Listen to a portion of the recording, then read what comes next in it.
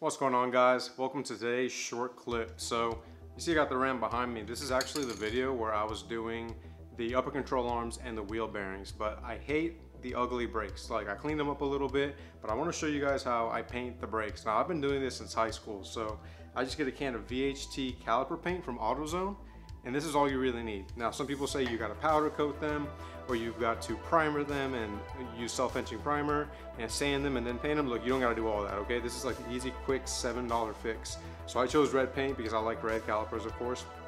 Now, all I did was scuff up the calipers with uh, sanding sponge. Same, um, you can use sandpaper too. I like the sanding sponge because you can grip it a lot better.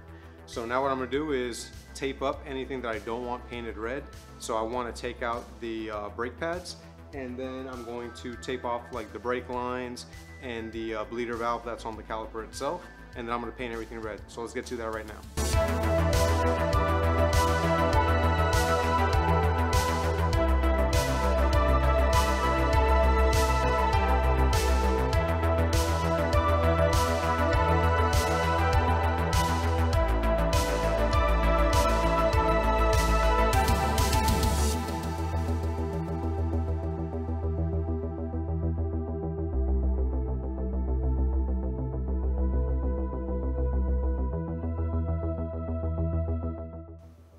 Guys, this is actually day two, because um, yesterday I wanted to wrap up the um, front suspension rebuild stuff.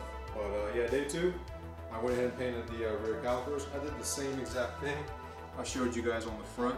Now, I'm going to point this out. When I did take apart the uh, front brake calipers, the uh, brake pads were pretty shot.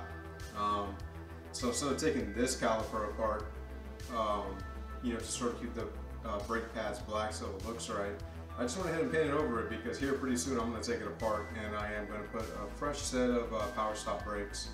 So they sell a pretty good truck kit and I am going to use this truck to tow to some local events. Um, so I'm going to use their PowerStop uh, towing brake kit.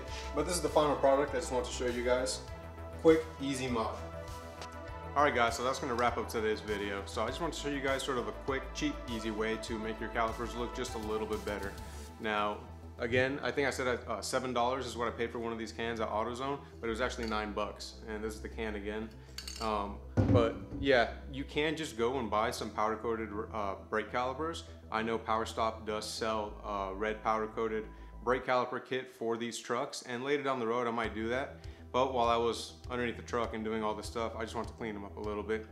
And it kind of sucks because you can't really see them behind the Daytona wheels because the spokes are so big but I know behind a set of like uh, matte black Viper wheels, they'll really pop. So maybe in the future, uh, when I do the brakes, I'll you know go that route and get the powder coated calipers. But if you're gonna do this, uh, I would recommend doing it closer to changing your brake pads and your brake rotors.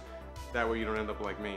But that's it for today's video, guys. So if you guys like these videos, hit that like button, leave a comment below. And if you love these videos, hit that subscribe button. Until next time, guys, peace out.